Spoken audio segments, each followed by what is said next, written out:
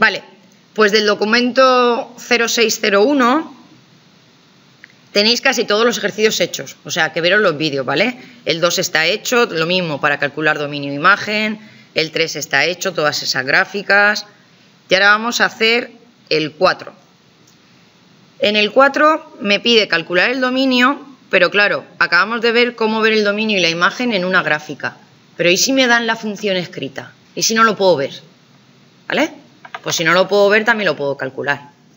Entonces, si no lo puedo ver, tenemos que aprendernos o saber unas reglas. Cualquier polinomio, del grado que sea, tiene un dominio que son todos los números reales. ¿Vale? Dominio, si mi función es un polinomio,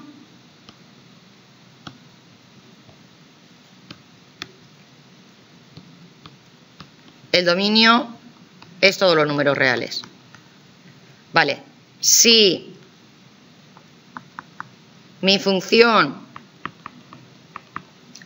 tiene forma de fracción, ¿vale? Si mi función es una fracción, ¿existe algo partido cero? ¿Yo puedo hacer algo partido cero? No, pero yo no puedo dividir nada entre cero. Por lo tanto, en una fracción lo que tengo que hacer es el denominador igualarlo a cero,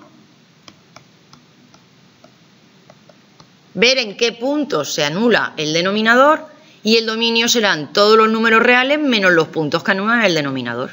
¿De acuerdo? O sea que en este caso el dominio será todos los números reales menos los puntos que anulan el denominador.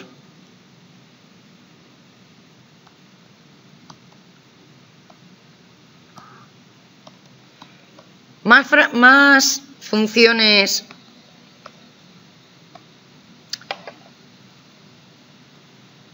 elementales, las raíces. Si mi función es una raíz cuadrada, con la, raíz, con la raíz cúbica no tengo ningún problema. Pero con la cuadrada sí, ¿no? ¿Existe la raíz cuadrada de un número negativo? No. ¿La raíz cúbica de un número negativo? Sí. ¿vale? Una raíz impar de un número negativo sí que existe, pero una raíz par, cuadrada o cualquier índice par, no existe de un número negativo. Por lo tanto, cuando tengamos una raíz con índice par, lo que hay que ver es que lo que tenemos dentro de la raíz sea siempre positivo o igual a cero.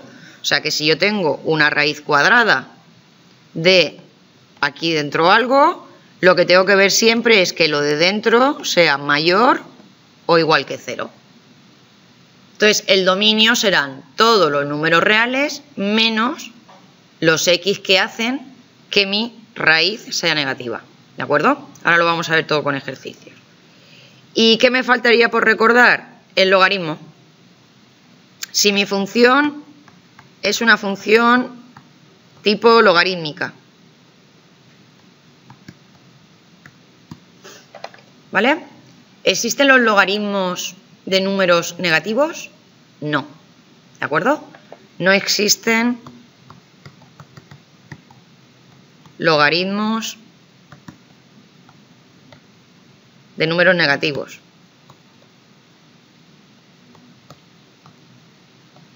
Entonces, ¿cuál sería el dominio? Pues hay que ver que lo de dentro del logaritmo sea positivo, porque si no, no existe. ¿vale? Cogéis la calculadora, probáis y os fijáis, ponéis logaritmo de menos 0, lo que queráis, o menos 2, da igual, ¿vale? No existiría. Vale, pues aquí tenemos varias para calcular todo esto. Varias funciones donde me piden calcular el dominio. Entonces vamos a fijarnos en algunas de ellas. La primera me dice f de x es x por raíz de x f de x es x raíz de x. Y vamos a calcular el dominio.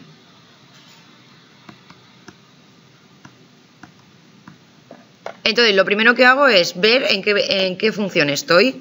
Estoy donde tendría problema es en el raíz de x. ¿Cómo tiene que ser x para que exista esa raíz cuadrada? Positiva, ¿vale? x tiene que ser mayor o igual que 0, ¿vale? La raíz de 0 sí que existe, para que exista la raíz. Por lo tanto, ya podéis poner que el dominio de esa función es desde el 0 hasta el infinito. Tiene que ser mayor o igual que 0. Pues desde 0 hasta infinito. Si lo miramos gráficamente, es esta primera que tenemos aquí. Y vamos a ver que coincide efectivamente lo que hemos hecho.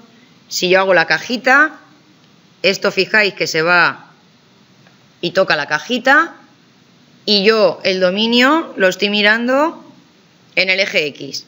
¿Dónde es el primer punto? ¿Dónde está el primer punto en el que existe mi función? En cero. Pues desde cero hasta más infinito. ¿De acuerdo? La segunda que me dan ahí. f de x igual a raíz de x al cuadrado más 5 f de x igual a raíz de x al cuadrado más 5. Tengo que ver que lo de dentro sea mayor o igual que 0. Pero es que eso siempre va a ser mayor o igual que 0. ¿Por qué? Pues porque cualquier número al cuadrado va a ser positivo, por lo tanto, como le estamos sumando otro número positivo, eso se va a cumplir siempre. Por lo tanto, el dominio de esta función, todos los números reales porque esto siempre es mayor o igual que cero. De hecho, el igual a cero nunca lo vamos a conseguir. Vale. Siguiente. Una con fracción. f de x es 3 partido 1 menos x.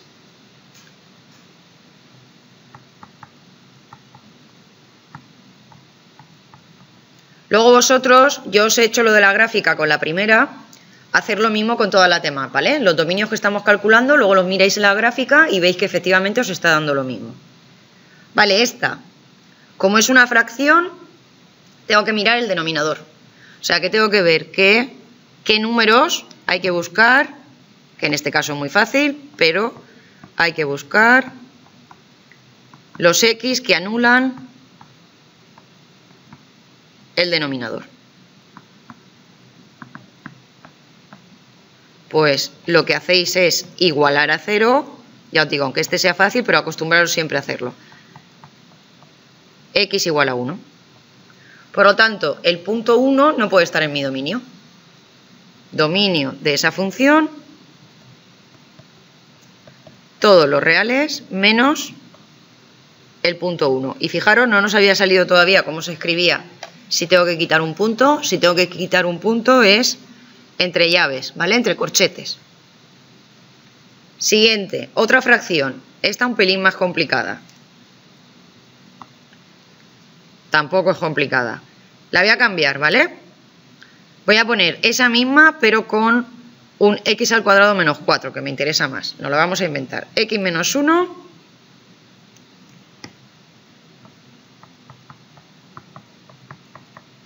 partido x al cuadrado menos 4. ¿Por qué lo cambio?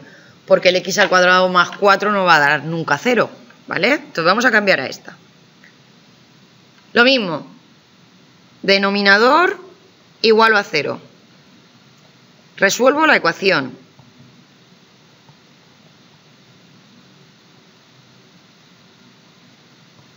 Y me dan dos puntos. El más menos 2.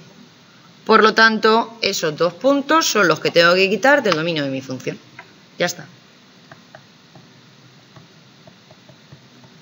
Todos los números reales menos el menos 2 y el 2. ¿De acuerdo?